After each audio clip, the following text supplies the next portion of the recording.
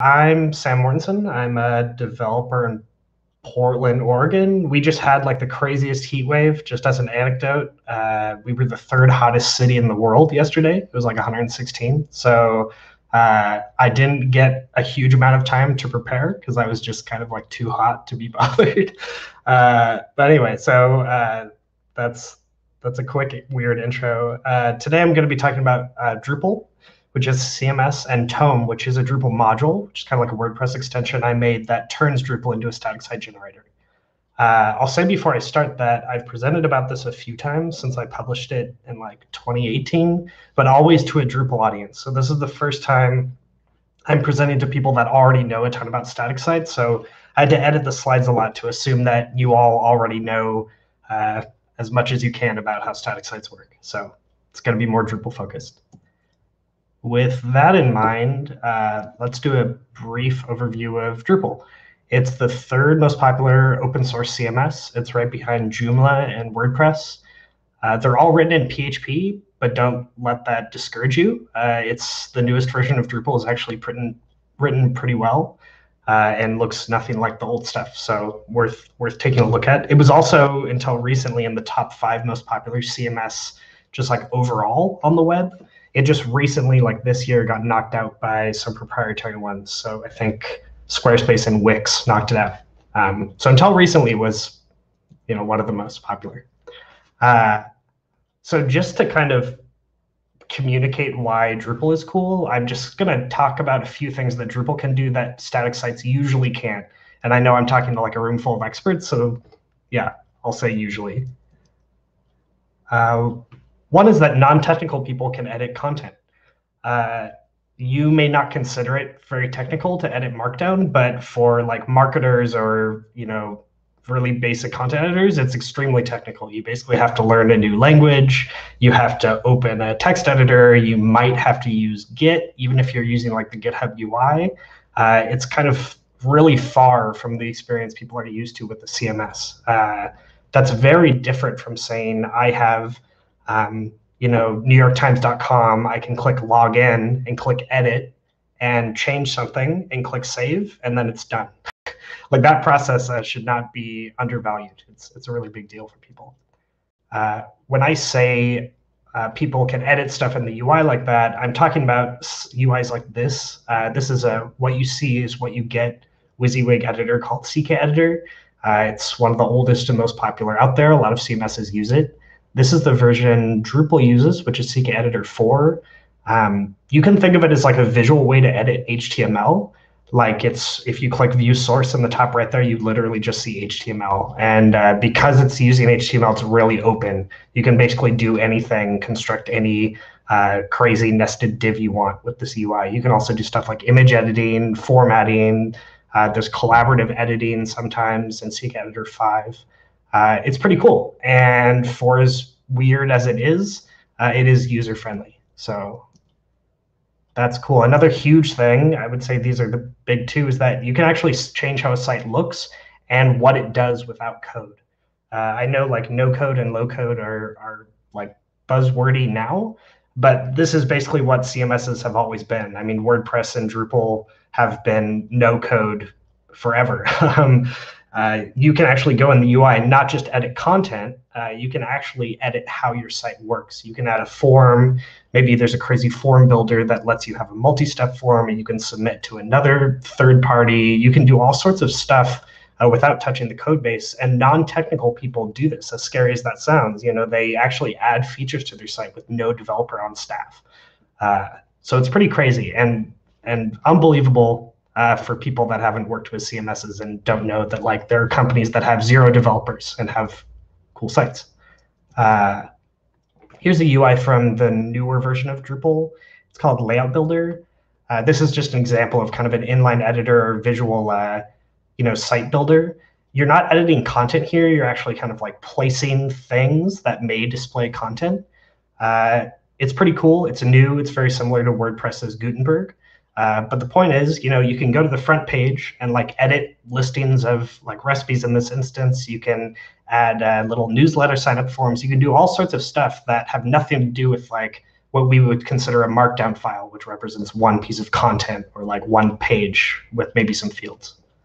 Uh, here's another crazy page from Drupal. This is a, a, module called views, which is really important to Drupal.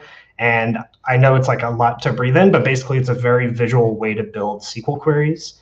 It can also do stuff like have exposed forms. You can kind of build search pages with this. Uh, I wanted to show this because while uh, the user experience is probably not good, it's an example of how much power uh, Drupal will give site builders, where people will create uh, views of content, which could be a page, it could be search, it could be anything that you know you build off of SQL, and uh, you know non-technical people use this interface. Of course, they have to have to learn it, which probably is a thing, but you know they they don't have to be a developer to build entirely new experiences. So pretty cool. Um, Another thing is a lot of hard problems are like table stakes for CMS. It's stuff that I don't think anyone that works on a CMS would like uh, lord over you and be like, you can't do this. it would just be, we've been doing this for so long, we don't even think about it. Uh, and so I'm going to just go through a list of those. And again, these are like my opinions. These aren't necessarily things you can't do. Uh, one is multilingual.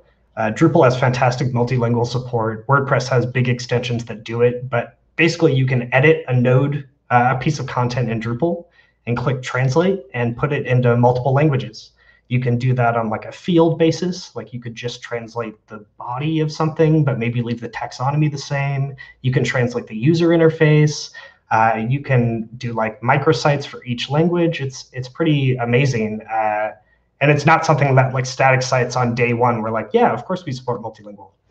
Um, yeah, it also supports multiple editors. You know, many people can log in and edit content at the same time. You don't have to think about like who's committing, what the merge conflict is. I have like PRs open.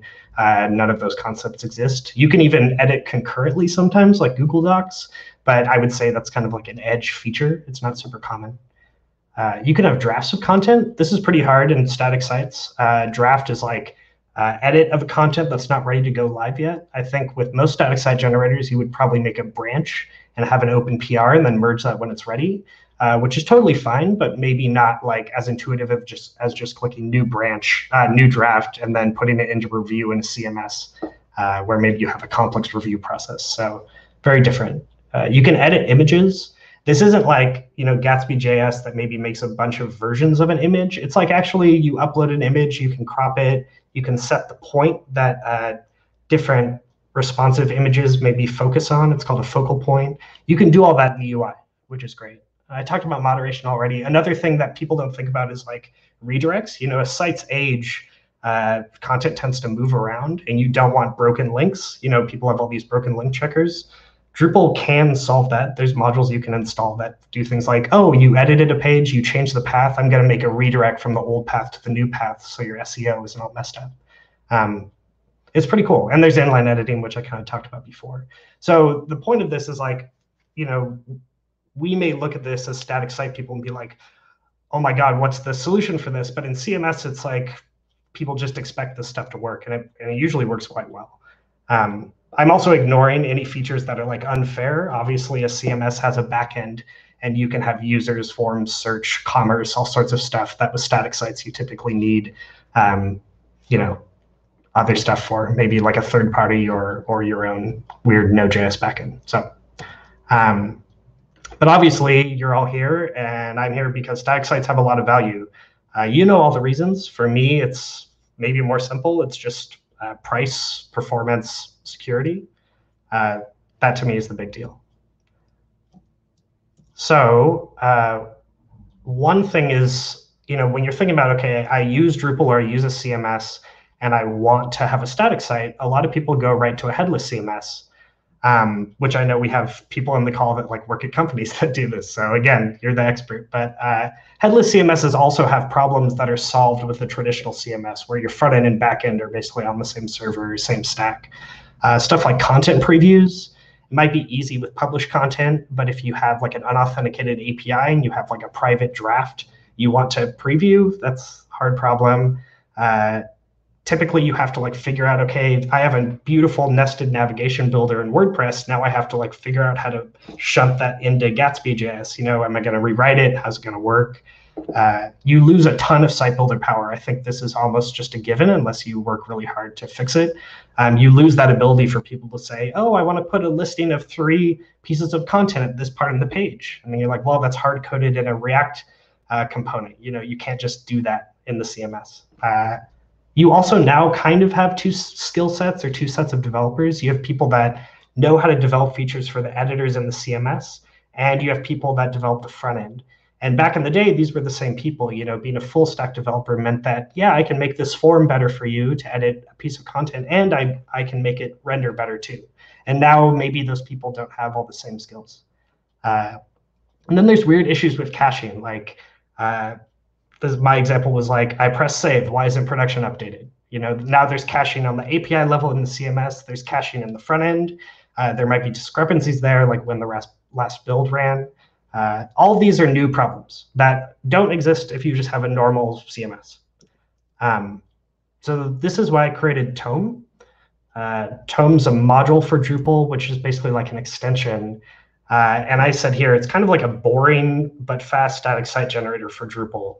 Uh, and the real reason I made this is when I started doing static sites, uh, at least with Drupal, I just thought like, why do I need to know any of this? Like, why do I need JavaScript to make a static site? There's nothing special about JavaScript and Markdown that is required for a static site. It's just very popular static site builders uh, use those. So this was kind of me being a lazy developer and saying, I already have Drupal, it works fine. I just want a static version of it. Um, yes, maybe it's stubborn too. So Tome is a Drupal extension that kind of comes in two parts that you can use together. Uh, one on the left is the Tome static. It's like the static site generator. And this is the boring part to me. It's basically like wget recursive. It's a crawler, but it's way smarter than that with a lot of complex things I've done that um, would take up too many slides. But uh, it's it's basically a very very good spider that runs within the CMS instead of you know running outside making HTTP requests like wget. Uh, it's really fast. It's much faster than uh, any other way to generate a static site for Drupal. I'm sure. One cool thing is it supports caching. This is huge. So when you rerun a build, it'll only generate pages that are uncached. That means your like uncached build, the the you know clean build is very slow, possibly, but every build after that is super fast, which is great. Uh, it's also smart. It does some rewriting of uh, pages to make them compatible with static sites. I put an example here. You know, Drupal has pagination. Let's say you have 10 pages of, uh, of content, and that's done with query parameters. But if I'm exporting an HTML file, I can't really have a query parameter in the name. It's just that's just not how web routing works. So it'll do stuff like rewrite those. So in this example, it's question mark page equals one, that's page one, and it rewrites that to be slash page slash one, which you can actually export as a static file and serve uh, just fine. So it's smart about stuff like that. Um, that's Tome Static. There's not a lot more to say. I think it's really good and really boring. What, what's cool about it is you can enable it right on top of any Drupal site right now, and it works without many other considerations. Uh, the other half is the weird part, and it's called Tome Sync. And what this does is it lets you store your entire Drupal site in Git. You know, the part that I think is actually really cool about normal static site generators like Gatsby or Jekyll is that your content is stored in Git unless you are doing like a headless CMS. Um, that has a lot of value, especially for teams that want that. I know I ragged on it when I talked about the editor experience, but um, there's a lot of cool things about it. So what this does is as you edit content, it exports things to JSON and then you can commit it and you can actually tear down your entire Drupal site at that point. You can like nuke it from orbit, and then at some point in the future, you can uh, re-enable it. Um, you can reinstall it from Git. Um, yeah, so I think that's really cool. The thing is, this may make sense to you because you use other site, site generators, um, but it's actually super confusing for people that use a CMS. Uh, like they they don't understand. They say, I already have a Drupal site running just fine. Um, why do I need this? So yeah, anyway, um, so those are the two parts. Uh, what's cool is, you know, I've talked about no code. You can use these from the user interface too. You don't you don't have to use the command line. Uh, this is a really big deal in Drupal. People expect everything to be in the user interface. So this is the user interface I have for it. There's not a lot to say about it, but You can go in here, you can put in the URL of your production static site, um, you can generate it, and then you can preview it in the UI, you can deploy it places, you can download a zip of it. Uh, yeah, it's it's cool. And this is kind of the summary of what it does. You can store your content in Git and export your site to HTML. Uh, it's very cool. These are kind of the use cases that I identified while working on it. Uh, one is, you know, I want to use Drupal, but I don't want to pay for hosting or get hacked. So that's what I was talking about before. You know, I'm cheap and I'm a security engineer full time, so I'm also very nervous, and I would rather have something that's practically unhackable. At least there's no PHP to hack, and uh, very cheap or free. Another is people want to archive sites at some point. Not all sites are meant to live forever. A lot of marketers will make what's called like a microsite or um, what are those called? Some sort of marketing material, like a single page site that's marketing some new drug, a new product. And these are launched once and then they live forever on like mycooldrug.com or mycoolnikeshoe.com. Uh, in that case, you may want to use Drupal for a lot of reasons, but you don't really want to have it live forever. So that's a good thing. Uh, another that people may not be more aware of is I want to run Drupal in an edit domain and have a secure front end. Uh, we use the term edit domain at a company I worked at before, but basically it's like a segmented uh, area where you access the CMS. Basically, it's protected by some sort of firewall that'll allow stuff like VPN connections or an IP range from an office. Uh, and so that's where you can edit content. And then the actual public facing thing is perfectly secure because it's never making API calls to the backend. Um, and no one can access the backend hypothetically unless they're through the firewall. But really, the main point is I want a static site and I don't want to change how I work. That's why I made it. Uh, a lot of people use Drupal. They don't want to learn anything new, or they just don't have resources or time, but they still want all the advantages uh, that we know about, and that's why we use static sites.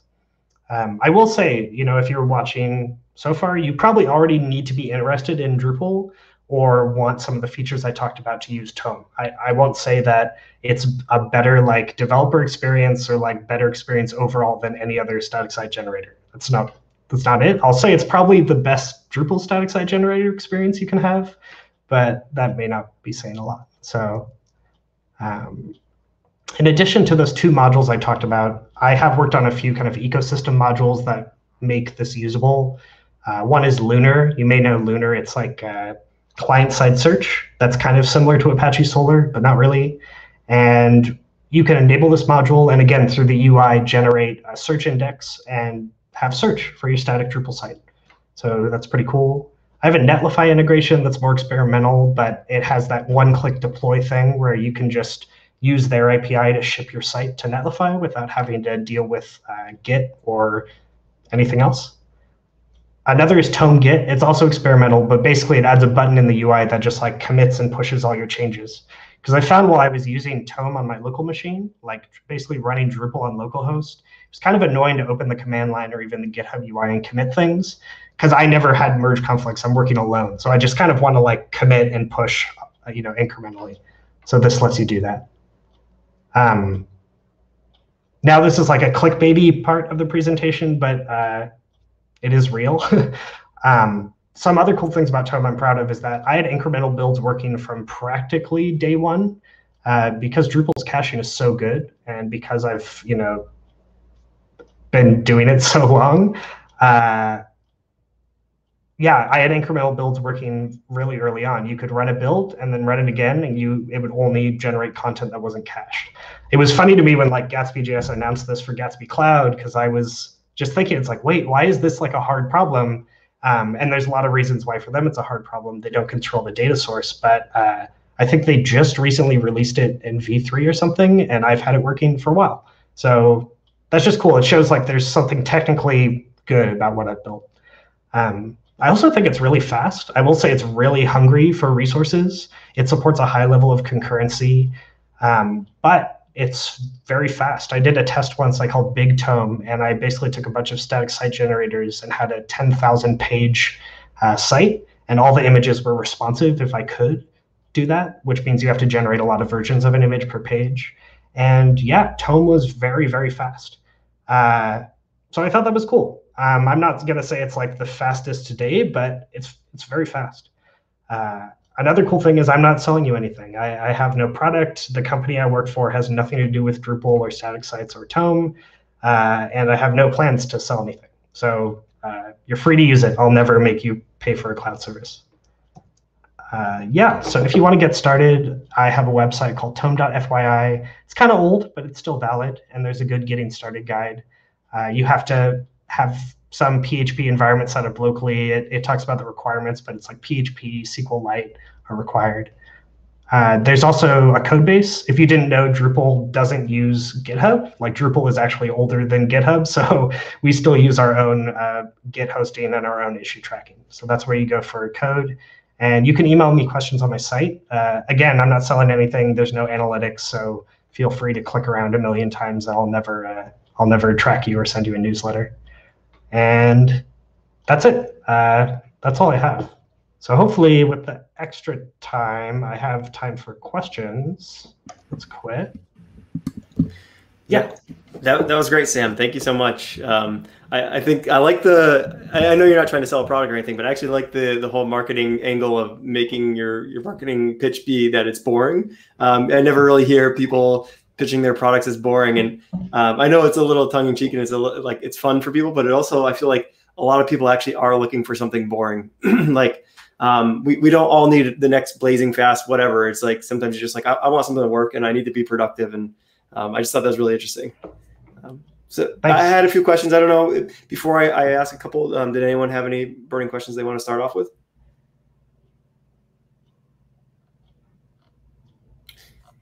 Okay, I'll hop into it. So, um, uh, so I know uh, Drupal 8 to, to Drupal 9 is a is a pretty seamless upgrade path. So I'm curious of the state of Tome uh, being functional in Drupal 9 and beyond. Is that something that you're, you're thinking about, or is it something that's already here?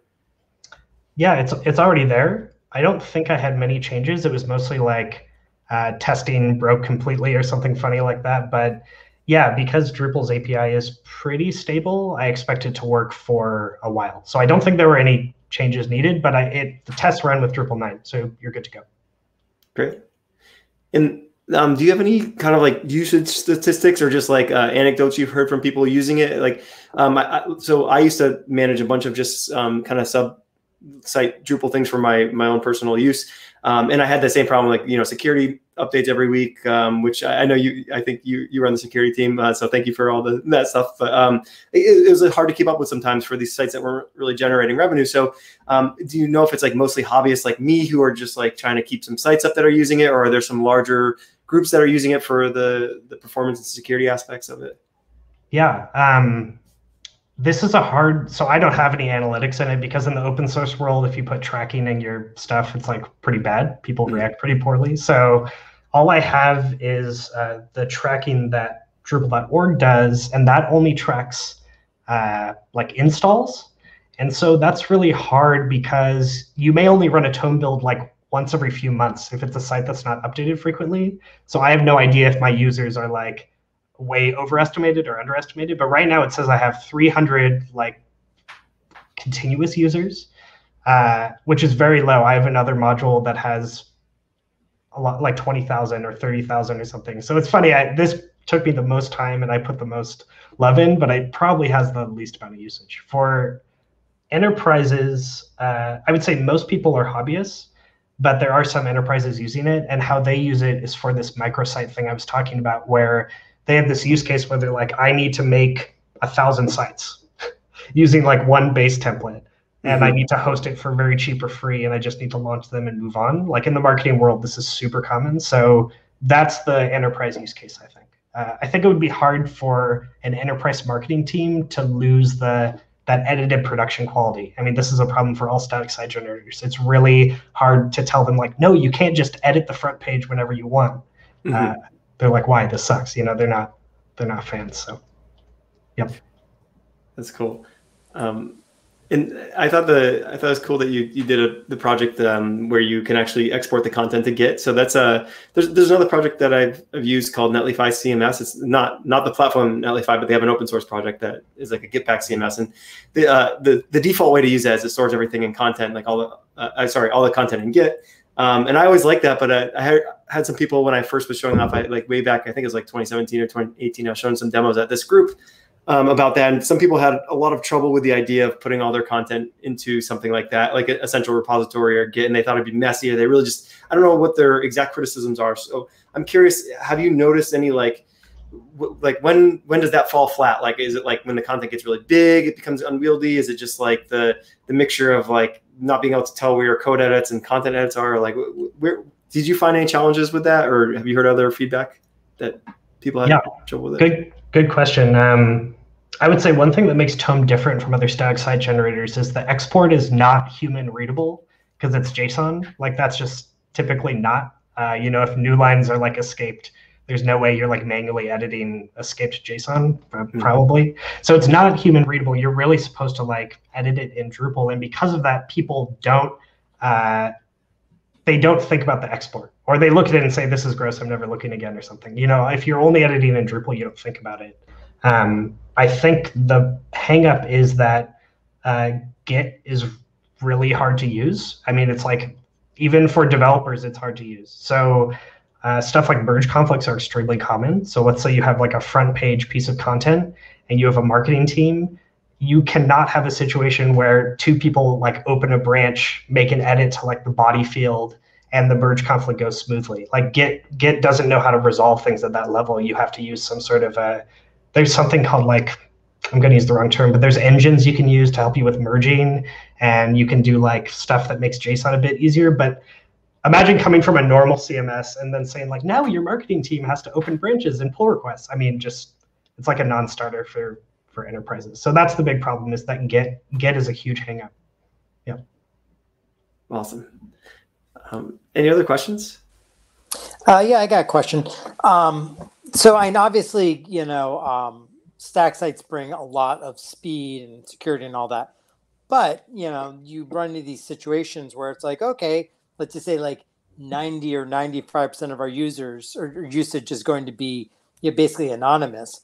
But then, like, hey, we've got comments or we've got, you know, whatever, you know, we've got guest bloggers. And all of a sudden, it's like, well, actually, we do really want a, a CMS you know, if you're using like a Gatsby or like a Next.js, um, you know, with, with Drupal sitting on the back end, you can do that, but you're then basically building a whole custom interface in terms of your authenticated experience using React.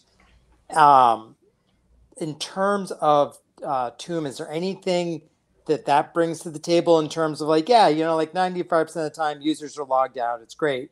But if I want to have an authenticated experience, um, or is it kind of in the same boat as like Gatsby and, and Next.js, where it's like, okay, you know, build it yourself?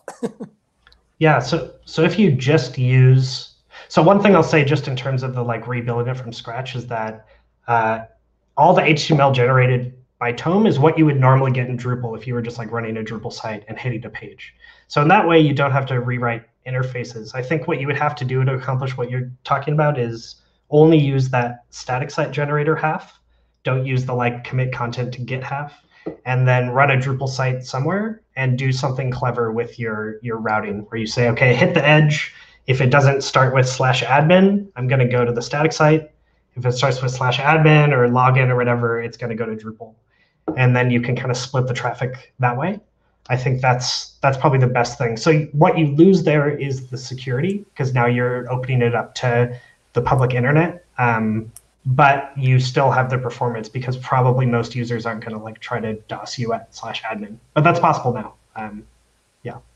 And then do something where it's like um, on a content update, regenerate the uh, the site and push it out to wherever it's being hosted.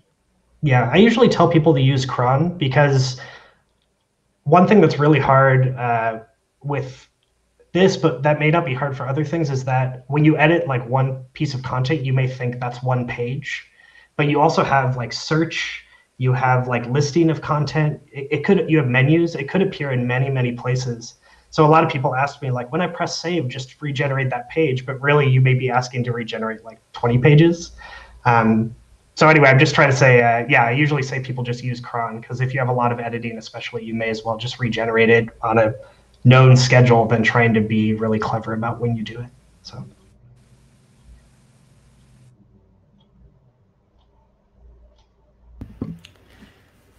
The project's very cool, Sam. Uh, thanks so much for coming and pre- presenting on it. Um, I've, I've, definitely, you know, being in the Drupal community, I've heard a lot of people uh, talking about it over over time. So it's cool to, to hear um, from your mouth. So thank you so much.